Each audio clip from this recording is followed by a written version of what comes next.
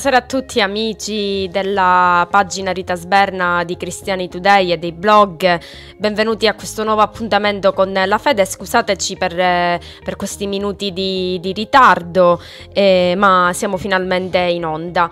Questa sera siamo insieme a Padre Piero Riggi e siamo giunti alla terza puntata della firma di Maria eh, sull'Europa. Intanto gli diamo il benvenuto, Padre Piero, benvenuto. Ciao Rita, ciao a tutti, ciao Stefano, bentrovati. Grazie Padre Piero di essere con noi, anche perché questa sera siamo aggiunti, come dicevo prima, alla terza puntata di questa rubrica dedicata appunto alla Madonna, ma soprattutto ai contenuti dei messaggi nascosti. Nelle scorse puntate già avevi anticipato cosa sono i messaggi nascosti, quali sono i messaggi nascosti e, e questa sera di quale messaggio nascosto appunto ci parlerai. Ecco, questa sera parliamo del messaggio nascosto che si trova in una delle apparizioni della firma Maria sull'Europa, che è il messaggio nascosto a tre fontane. Ecco, la Madonna, quando appare in queste apparizioni della firma di Maria, lei stessa si dà un titolo. Ecco, questa volta ci è dato un titolo particolare. A Tre Fontane la Madonna si è dato il titolo di Madonna della Rivelazione. Ehm, può sembrare un titolo qualsiasi, un pochettino strano, invece è un titolo molto importante perché per noi cattolici l'ultimo libro della Bibbia si chiama Apocalisse. Per i protestanti l'ultimo libro della, della Bibbia si chiama Rivelazione. Ebbene, la Madonna, dicendo a un protestante, io sono la Madonna della Rivelazione, equivale a dire a un cattolico io sono la donna dell'Apocalisse. Poi lo disse a Bruno Cornacchiola che appunto era un, un non credente anche, non, non, credeva, oltre a essere diciamo prima sì, protestante. Bruno sì, Bruno Cornacchiola all'inizio non credeva, poi è diventato eh, cattolico, poi è diventato protestante e dopo l'apparizione della Madonna è ritornato nella Chiesa Cattolica, addirittura la Madonna gli ha dato un messaggio per il Papa Pio XII che lui voleva uccidere con un pugnale comprato in Spagna dove ha messo il nome del Papa intendendo dire voglio uccidere il Papa con questo pugnale. Però la Madonna gli è apparsa e gli ha detto io sono la donna della rivelazione. Forse anche come... si è svelata come donna della rivelazione perché a lui ha dato delle grandi rivelazioni anche sul futuro della Chiesa.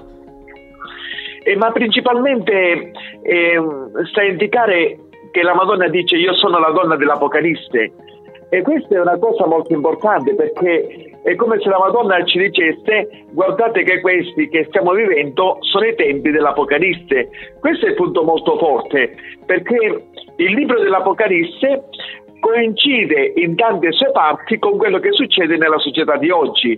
Il, me- il messaggio eh, intimo della Madonna, quello veramente essenziale, è quello di dire guardate che questi sono i tempi dell'Apocalisse. Senti, infatti, ma cosa significa nello specifico Apocalisse? Ecco, Apocalisse bisogna comprendere bene perché le persone quando sentono parlare di Apocalisse pensano a quello che dice il film o i vari film che ci sono in giro sull'Apocalisse, cioè distruzione, morte e via dicendo. Invece, quando si parla del libro dell'Apocalisse, i concetti sono tutt'altri. Cioè, il libro dell'Apocalisse è un libro di consolazione, un libro di speranza, un libro eh, che ci parla del tempo presente. Cioè, eh, l'Apocalisse è come se dicesse voi in questo tempo, nel tempo dell'Apocalisse, tante cose non le comprenderete, allora ve le spiego io. La Madonna fa profetismo, la Madonna fa una teologia della storia, cioè interpreta la storia attraverso l'Apocalisse. La cosa bella. Però ascoltami, molto... Mm, il tempo dell'Apocalisse, tu hai detto che è un, un tempo anche di speranza, però se noi andiamo a leggere l'Apocalisse, insomma, non è che proprio leggiamo tra le righe tutta questa speranza, ci sono anche delle cose molto forti.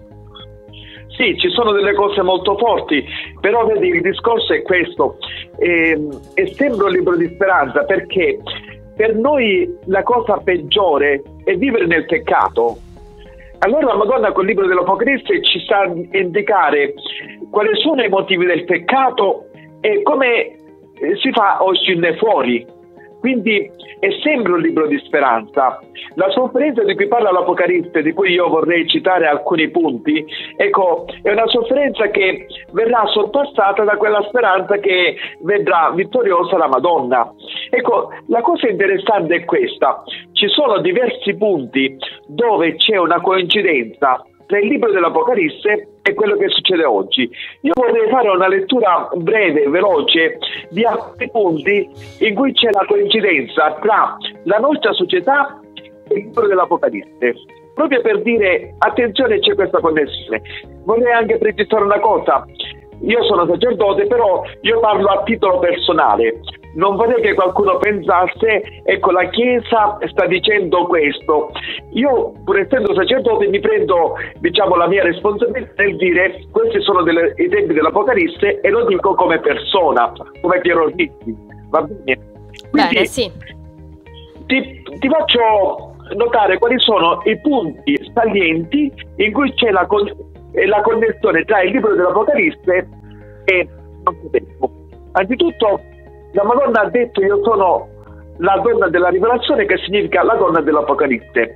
E a Medjugorje c'è un eh, filmato dove si vede il sole che pulsa e poi a un certo punto sopra il sole si vede un'altra luce della stessa luminosità del sole che si muove Tanti l'abbiamo identificato come la donna vestita di sole.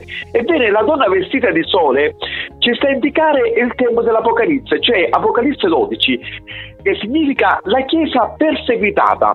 Se noi guardiamo ecco, nel secolo scorso, la Chiesa ha avuto 40 milioni di martiri e attualmente la Chiesa è perseguitata in tutto il mondo, ora in un modo, ora in un altro. Quindi praticamente tu stai dicendo i segni che dimostrerebbero che oggi ci troviamo nell'Apocalisse, sono questi che stai dicendo esatto, tu? Esatto, e questo è già un primo segno. La donna vestita di sole, Apocalisse 12, 1, 6.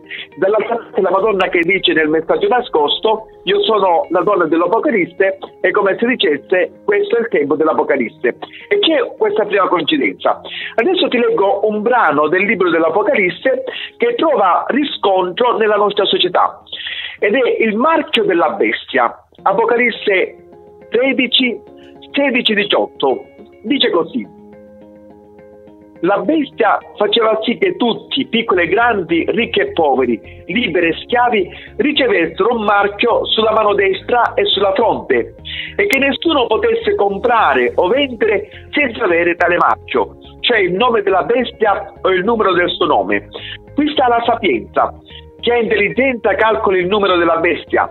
Essa rappresenta un nome d'uomo e dal cifra è 666. Allora, quindi, come dice, dice l'Apocalisse, il marchio della bestia quindi ci sarà in questo nostro tempo. Sì, eh, però qual è la coincidenza? La coincidenza è questa, che il marchio della bestia sarà sul capo e sulla mano destra. Quindi il microchip. Il microchip i microchip, i microchip che già si vanno diffondendo in America, in certe parti eh, d'Europa e certi studi hanno detto che il punto migliore dove deve stare il microchip è sul capo e sulla mano destra. Come mai? Ma guai a quelle persone, perché sono i punti più salienti, guai a quelle persone che hanno questo microchip. E, ehm, e questo verrà un tempo in cui si comprerà e si venderà col microchip, però eh, quel microchip cosa contiene in effetti? In effetti contiene il marchio della bestia e con tutte le conseguenze che questo comporta. Quindi tu pensi Andiamo che qualcuno in Italia lo metterà? ma già le proposte le fanno e già la televisione fanno tanta di pubblicità col mettere il microchip. Magari ci saranno tante scuse, come a, a dire se c'è un incidente col microchip possiamo vedere la cartella clinica, oppure tante altre scuse, ma in effetti cosa contiene il microchip? Questo non lo sappiamo. Eh, ci sono tante incognite nella nostra società. Fatto sta che c'è una voglia di dominio sulla popolazione, una voglia di dominare e di decimare la popolazione, quello che stiamo vedendo in Italia in modo particolare, in Europa. E stiamoci attenti al microchip. Sembra strano, ma l'Apocalisse già parlava del microchip eh, che noi ci ritroviamo adesso nessuno potrà comprare o vendere senza il microchip, senza il marchio della marchia. Andiamo avanti. Eh, Apocalisse 12.3, Apocalisse 13.1, 17.7. Sono tutti brani che ci parlano de- della bestia. 12.3 dice allora apparve un altro segno nel cielo, un enorme drago rosso con sette teste e dieci corna, e sulle teste sette diademi. Apocalisse 13.1 Vidi salire dal mare una bestia che aveva dieci corna e sette teste, sulle corna dieci diademi, e su ciascuna testa un titolo blasfemo. Ecco, interpretando questi segni, allora vediamo come anzitutto il mare nella Sacra Scrittura sta a indicare il male. Dal male saliva una bestia significa una organizzazione, una sola organizzazione. Quindi possiamo comprende... raffigurarla alla massoneria, ad esempio? La massoneria. La massoneria ha fatto il voto, diciamo, di distruggere la Chiesa. E Chiesa si intende eh, non semplicemente il Papa, i vescovi i sacerdoti, ma significa tutti i cristiani, eh, tutto il popolo di Dio. Leggiamo ancora i segni. Dal male saliva un'organizzazione unita che comprendeva tutti i poteri, tutti i poteri stanno a indicare eh, le sette teste con sette diademi e tutti i governanti che stanno a rappresentare le dieci corna. Ebbene, i fuoriusciti della massoneria dicono che attualmente il potere mondiale appartiene alla massoneria. Anche il compianto padre Amort diceva la stessa cosa. Oggi il potere mondiale è in mano alla massoneria e la bestia con i sette diademi che sta a indicare tutta la regalità, dieci corna che sta a indicare tutti eh, tutti coloro che governano, tutti i capi di Stato che fanno parte dell'unica bestia. Poi questo numero 7 non è a caso. No, il 7 non è a caso, significa la pienezza, la completezza, vuol dire tutti. Ma andiamo a vedere un altro segno che è molto importante. Ecco, il quarto segno, quello che vediamo, ce ne sono tanti altri però. Ecco, eh, si parla nel libro dell'Apocalisse, Apocalisse 16, 1, 21, si parla di eh, sette angeli che riversano sulla terra sette coppe. Dice così il versetto 1 udì dal Tempio una gran voce dire ai sette angeli, andate e versate sulla terra le sette coppe del furore di Dio. Ecco, e poi gli altri versetti parlano di come questi angeli buttano queste coppe sulla terra. Ebbene, se noi guardiamo Mescigorie, i dieci segreti cosa sono? Sono i primi tre avvertimenti e gli sì. altri sette sono delle sofferenze a livello planetario. Però la Madonna dice che alla fine il suo cuore immacolato trionferà. Però prima di questo trionfo ci sarà un bel combattimento, duro anche. Sì, sì, però il discorso è questo. Lì entriamo nel tempo della speranza. Di per sé, la parte do- più dolorosa è quella che noi stiamo vivendo oggi. Perché tante persone che muoiono oggi in peccato rischiano veramente l'inferno. Per questo la Madonna eh, piange con lacrime di sangue, la Madonna chiama. Non è tanto il tempo della sofferenza il peggior tempo, è quello che viviamo oggi il peggior tempo, perché la sofferenza purificherà e allora avremo modo anche di eh, accedere a una vita nuova. Mentre invece quello che viviamo adesso è veramente un grande dramma dove si seguono eh, tante persone che ci conducono lontano da Dio. Andiamo avanti nei segni perché eh, i segni sono tanti e i coincidenti tra il titolo dell'Apocalisse e quello che vediamo oggi sono tanti. Il libro dell'Apocalisse, capitolo 13, versetti 3 4, e parla della grande apostasia. C'è un tempo in cui le persone non seguiranno più Cristo, ma seguiranno ecco, quello che nella Sacra Scrittura viene chiamato l'Anticristo. Ecco, Vediamo cosa dice questo, questi versetti.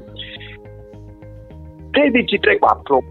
Ora una delle teste appariva come colpita a morte, ma la sua ferita mortale era guarita. Per questo tutta la terra fu presa d'ammirazione per la bestia e si mise ad adorare il dragone, che aveva dato un tale potere alla bestia. E adorarono la bestia dicendo, chi estimerà la bestia e chi può combattere con essa? Ecco, già vediamo il dragone vediamo la bestia e le persone che lasciano Cristo e si mettono a seguire la bestia. Se noi guardiamo cosa significa anticristo, anticristo è colui che si antepone a Cristo, che si pone in se stesso come un salvatore. Guardate quante persone eh, hanno gli idoli nei cantanti, calciatori eh, nei, e tanti altri personaggi. Però si dice anche si dice anche che l'anticristo sarà, diciamo, apparentemente un uomo che fa molta carità, è ben visto da tutti, un uomo buono. Un uomo che attirerà le folle, ma che le porterà lontano da Cristo. Però intanto la scrittura ci parla di tanti anticristi, significa di tante persone che si pongono come salvatori, ma in effetti affondano le persone. Ora, se noi parliamo di apostasia, l'abbiamo detto altre volte, purtroppo lo diciamo unendoci al coro di sacerdoti, di altre persone che dicono tante persone oggi rinnegano la fede o parti della fede, tante persone non credono più all'inferno, abbiamo detto altre volte, tante persone si sono fatti una religione fai da te, eh, questo lo si sa da molto tempo, magari frequentano anche la Chiesa e poi alcune parti del credo lo credono e altre parti non lo credono. C'è una grande apostasia nel mondo che viene già annunziata nel libro dell'Apocalisse. Andiamo avanti in un altro segno, siamo al sesto segno, la nuova creazione, cieli nuovi e terra nuova. È quello che dice Apocalisse 21.1. Poi vidi un cielo nuovo e una terra nuova, infatti il cielo e la terra di prima erano scomparsi, neppure il mare c'era più. Ebbene, sempre dicendo il mare non c'era più, si intende dire il male non c'era più, è stato vinto. Ebbene, dopo che sono realizzati i dieci segreti, dopo che è successa la purificazione delle sette sofferenze, ci sarà un tempo di pace come mai ce n'è stato sulla terra, ha detto la Madonna eh, a Medjugorje, ha detto la Madonna a Fatima, alla fine il mio cuore immacolato trionferà. Anche questa è una coincidenza perché questo male che non c'è più, questo tempo di pace coincide con quello che la Madonna ha già detto. Alla fine il mio cuore immacolato trionferà e ci sarà un grande periodo di pace. Ma ci sono altri segni nel nostro tempo che coincidono con la Sacra Scrittura. Questi segni che, di cui parlo adesso ecco, non sono presi dal libro dell'Apocalisse, ma sono nel Vangelo, negli Atti degli Apostoli, nella prima lettera di Giovanni. Ad esempio, il Vangelo di Matteo dice 24:30 allora comparirà nel cielo il segno del figlio dell'uomo. Ora, il segno del figlio dell'uomo è la croce, quante volte a Medjugorje e in altre parti del mondo sono apparse, apparse delle croci in cielo?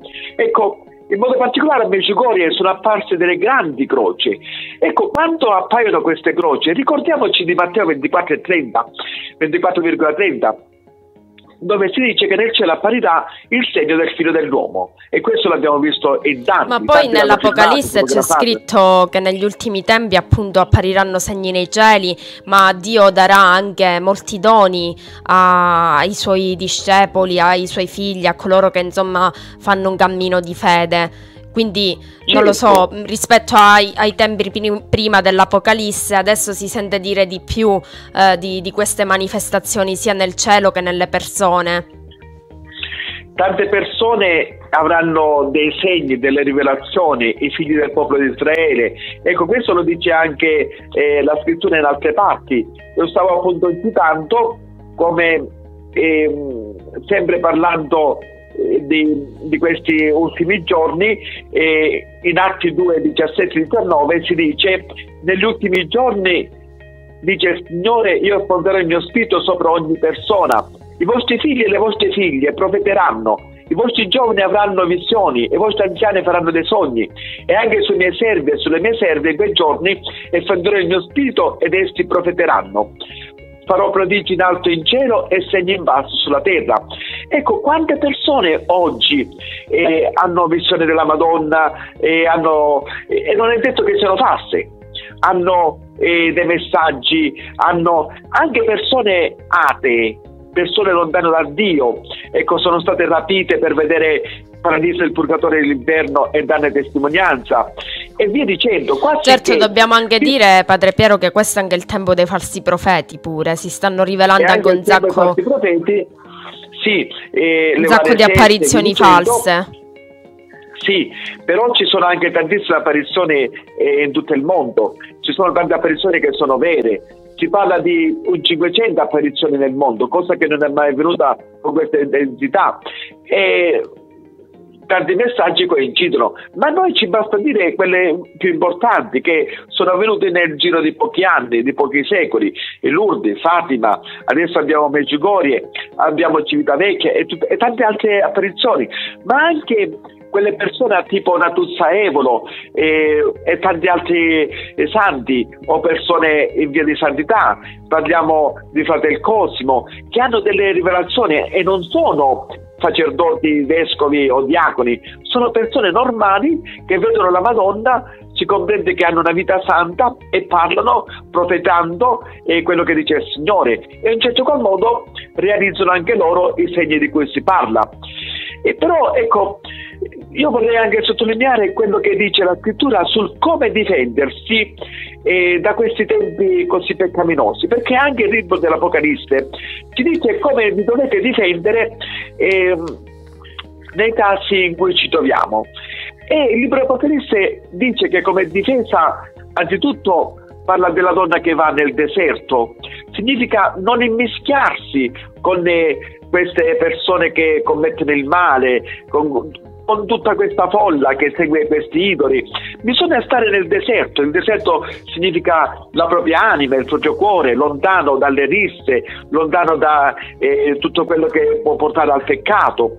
Poi ci parla anche della preghiera, della povertà, cioè la povertà è salvifica. Nella, nel libro dell'Apocalisse la povertà è salvifica, perché tante volte l'avere molto denaro portare a peccare molto. La povertà invece ti costringe a stare eh, un po' più dimesso, un po' più fuori riga. E questo lo vede eh, il libro Apocalisse come una causa di salvezza. E poi la parola di Dio. Eh, nel libro dell'Apocalisse, nella eh, lettera a Filadelfia 3, 7, 10, ecco, San Giovanni scrive per volere del Signore a questa chiesa e dice tu sei fedele alla mia parola. A dire che nel tempo in cui c'è grande confusione bisogna essere fedeli alla parola di Dio, bisogna leggerla, bisogna meditarla, bisogna comprenderla, che tutto questo diventa un'arma contro le insidie del maligno che si trovano in questa vita. Ecco, come anche la Madonna che a Lourdes, Fatima, Mecigorie continua a dare consigli sul come difendersi da questo tempo di peccato. A Lourdes ha detto penitenza, penitenza, penitenza. A Fatima, ecco, la Madonna ha chiesto la consacrazione al suo cuore immacolato e poi la preghiera. Beh, sicuramente con, eh, con, la preghiera del rosario e l'Eucarestia, quella è la cura per ogni sì. soluzione. Sì, la parola di Dio, confessione, comunione e abbiamo dimenticato, ci dice la Madonna Mecigorie, abbiamo dimenticato il digiuno. Con il digiuno e la preghiera potete cambiare gli eventi naturali, potete fermare le guerre. Ecco, di per sé è un tema molto lungo e molto vasto, ma molto molto interessante. Comprendendo i tempi in cui ci troviamo, possiamo capire anche quello che può succedere ancora e quali sono i rimedi. I rimedi stanno sempre sulla parola di Dio, sulla preghiera, la fedeltà, vivere una vita cristiana ancora più autentica, ancora più forte, perché le sollecitazioni esterne oggi sono molte. Eh, vediamo tutto quello che trasmettono la televisione, il genere che ci viene somministrato in modo diverso attraverso i vari film, quasi che si faccia un lavaggio del cervello, ad ogni programma si parla di omosessualità, si parla di eh, il genere in forme eh, più svariate, proprio per lavare il cervello alle persone. E questo è il drago che butta fango attraverso anche i mezzi di comunicazione sociale sulla Chiesa, sulle persone. Una Chiesa perseguitata in tanti modi.